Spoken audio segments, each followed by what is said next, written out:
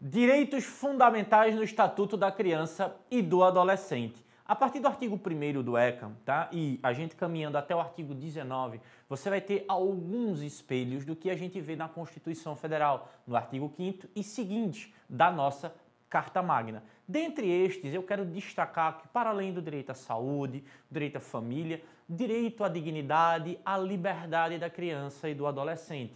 Mais especificamente, eu queria falar para você sobre os artigos 18, 18A e 18B do Estatuto da Criança e do Adolescente que tratam, tá certo, de modificar uma perspectiva sobre a forma de educar, proibindo, vedando a utilização de castigos físicos. E para isso, o Estatuto da Criança e do Adolescente, ela inclusive vai conceituar, por causa de uma lei, a Lei 13.010 de 2013, a Lei do Menino Bernardo, tá? em que, por causa de um triste evento, nós tivemos essa lei que, dentro do ECA, tipifica entre aspas, porque não é um tipo penal, o que pode ser classificado como castigo físico e a sua vedação. Dentre as consequências previstas no artigo 18b, tem o encaminhamento dos pais e da criança e do adolescente para alguns tratamentos ou prestação de serviços públicos para o acompanhamento psicológico, para o acompanhamento pedagógico, para a tomada de medidas que exista um redirecionamento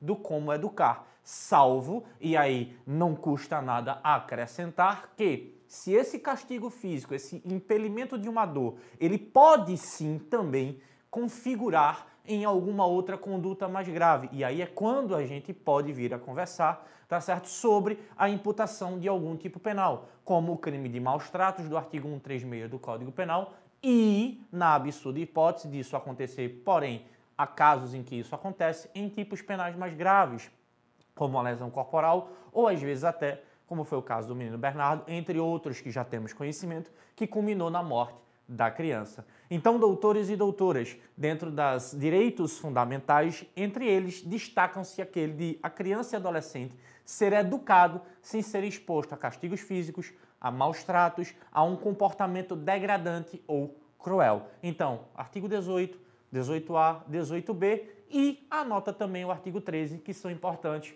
para os teus estudos. Até a próxima dica.